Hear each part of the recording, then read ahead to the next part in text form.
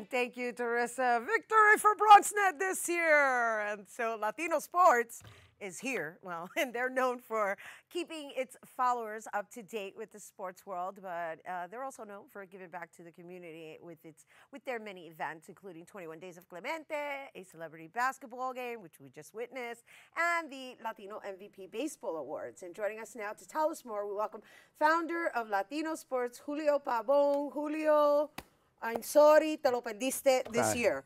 Yes, and we also add one more thing to that. We added in the last about nine years. We do the uh, marathon in uh, 138th Street because you know the marathon goes through 21 miles, but it only goes through about five, six, six blocks of the Bronx.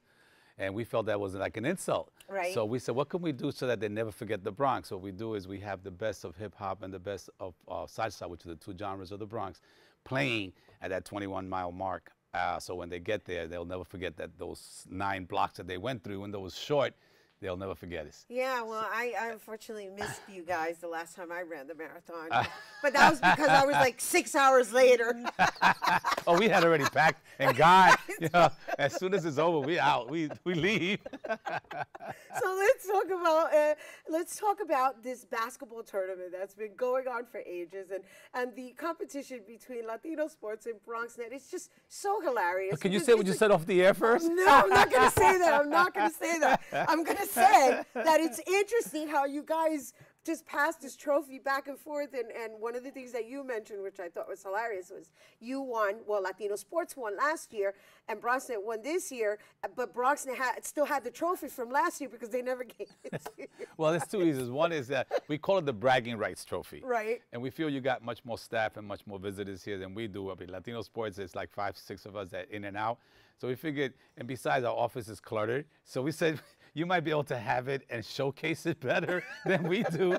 But just because he walked in with the trophy doesn't mean that they had it from last year. That's hilarious. And so, how long has this been going on between Oh my BronxNet and Latino Sports? the, the events have been going on for 24 years, and the games between Bronx and us maybe about a decade already. A decade. That's awesome. Yeah, we've seen guys that have been playing that when we first saw them, they were playing. They came as a kid, and now they're a grown man. right. Are you referring to Latino Sports or BronxNet side? Uh, Latino sports because BronxNet seems to have grown men who seem to have some type of growth hormone, right? That they walk in with these humongous guys every year, and I'm asking for ID. So next year I'm gonna start asking for you know BronxNet ID before these guys actually get on that court. All right? it's definitely a lot of fun. I, I've, Yeah. I've been there in person and, and experienced it myself. That's our way. sun. We need to help because the Bronx is the, the, the, the county of New York State that has the worst health re- record, and it hasn't changed. Uh, 60, I think 62 counties in the state of New York. The Bronx is number 62. Yes. And between the uh, problems of obesity, asthma, uh, the high uh, uh, upper respiratory ailments, the Bronx has one of the worst. The, the, our eating habits are terrible. So this is our way of showing that you don't need to, you know, have a lot of money. You don't need to go to a gym. You don't need to invest money in weights and all that stuff. If you could just walk, if you could just dribble, we have uh, Zumba classes in the middle. We have little contests where we invite people to come and throw a ball. Like if you get into the hoop, and thanks to the Yankees, we give them tickets. You know, so um, we thanks to Goya this year, no high fructose juice. It was pure organic coconut water. Nice. so thank you, Goya. That- They're- that was a they're- good they're- plug. they're following in through the whole thing of keeping That's people wonderful. healthy. And then we have Bronx Care that every year brings the mobile truck. And it's sad to say that some people come every year and they say that's the only exam they get. When we go there and we make everybody go through the little, you know, exam where they get the cholesterol check, the high blood pressure, and the sugar level. So they're reliant on this event. And there are people year. that actually come every year. And this year we had a problem with the with the truck. It broke down. And you should have seen the number of people that were coming up to us. Says, "Oh yeah, don't that throw. Where where can I get myself checked?" Mm. So we feel that that's our contribution to help keep this borough a little bit you know healthier. Well, I think what you do in general, uh, just as an ambassador of the entire borough. I mean, in general, you know, I, you. I personally adore you, Julio, and I watch everything that you're a contribution to. And um, this whole baseball MVP, that's another aspect to Latino sports that we should share with everyone because um, that, that's dealing with the major league players. And, and so it's like you deal with the community, but you also deal with the major leagues. Yeah, and we're very happy to say that after 28 years of giving this award, it was an award that was founded because in 1989, a lot of people who didn't, who followed baseball, but there was no ESPN, there was no, you know, internet. 1989, remember? We still had the old phones. We had to put a quarter in and change. Are you asking people. me? Remember? okay, okay, what? so, I don't know who he's talking to. those, those of you out there know what I'm talking about. So, uh, that, sé, yo no sé. I only hear stories. That year, there was a Puerto Rican. His name is Ruben Sierra who had really rocked the league. Everybody thought he was going to be the American League uh, most valuable player, and he he wasn't. They they overlooked him. Right. Because he played for a very low budget team, the Texas Rangers at the time. So I heard about it, and there was a lot of uproar. People said, well, whoa, he should have been the guy. And they gave it to uh, Robin Yount, who had a very good year too, but played for a different team. And of course, being Anglo, get more, more publicity. So I decided that year that we should give something to this guy. And I came up with the idea of just getting a little plaque. And since in the old stadium, I don't remember, the players had to come out. okay, here we go again. It wasn't that long ago, right? All right, the old stadium no, was, I was there okay, for the thank old you, because I actually you. attended that okay. one. the, in the old stadium, people used to, the players used to park in the parking lot, the buses used to come and they used to walk through the street, something that no longer they do, right? Right. So you, if you were a fan and you never could buy a ticket, you can always just go there and stand there in the police barracks, and you can actually be almost this close to a baseball player. And you walk by and they say hello to them. So we figured I can get a plaque, and when Ruben Sierra's bus from the Texas Rangers comes in, he comes out and say, Mr. Sierra, as far as we're concerned, you're an MVP. Somebody heard me say that. They asked me to go on radio. I went on radio, and that just blew up into a whole bunch of stuff.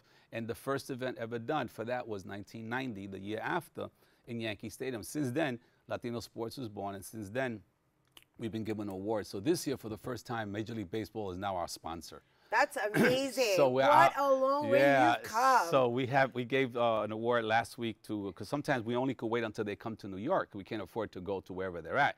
But now with Major League Baseball sponsorship, I'm leaving in two weeks to uh, Houston, Texas, to give Altuve, which won the American League MVP. So there's no reason why he can't win the Latino MVP.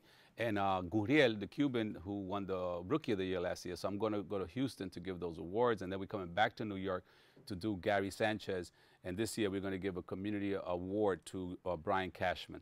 And so this is wonderful. Uh, I love that you're shedding, you're, you're, you're, you're sprinkling and, and sparkling light on uh, the Latino community, uh, which leads me to this new project that you're working on uh, regarding Puerto Rico, uh, because I do want to have a real quick, brief discussion about respect and justice for Puerto Rico, something you initiated last year, and, um, and obviously something that we still need to work on.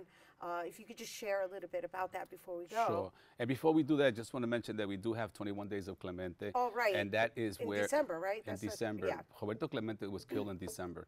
And people forget about uh, baseball, period, in December. So what we do is to teach the values of what Clemente represented, which was giving back, humanitarianism. We invite every school child from the ages of kindergarten to high school senior. And if they do anything on Clemente, it could be a scribble and give it to us. We exhibit it at the Roberto Clemente State Park. Beautiful. And that, that they can send that to latinosports.com, yeah, just right? before uh, on December, the first week of, of December. December. All right. Well, we can revisit that again, but uh, we got to wrap up. Absolutely. And, yeah. And so I just really quickly, respect and justice for Puerto Rico. That's happening at Pregones in September, right? We're having one fundraiser there, yeah. But but respect and justice basically was the fact that you know, a lot of us were very concerned about what happened in Puerto Rico with Maria. Maria did something that very few people understood. It unmasked the real situation of Puerto Rico, where we are citizens, but half of the American population didn't even know we were citizens. And therefore, we felt that we have to do more than just send bottles of water and power plants to Puerto Rico. And we decided to do something that's long term.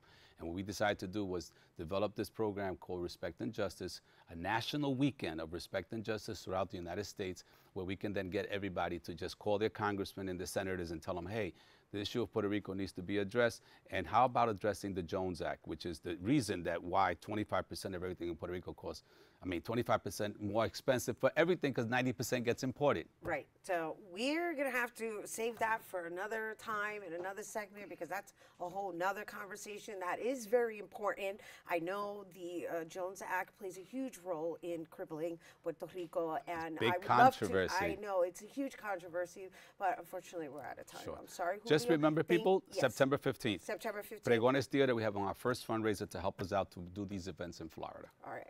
Thank you. Thank, Thank you. you. No.